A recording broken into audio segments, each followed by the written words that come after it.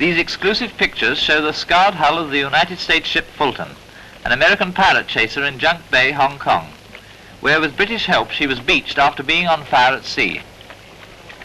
The wooden decks of the old gunboat were burned away and the steel supports twisted beyond repair. Only the finely tempered steel guns retain a vestige of their former appearance. This was the officers' mess, where the officers were dining when the explosion causing the fire occurred in the engine room.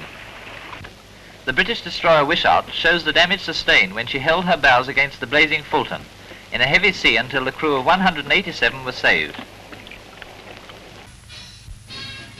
Now the Far East, where the war in China dominates all thoughts.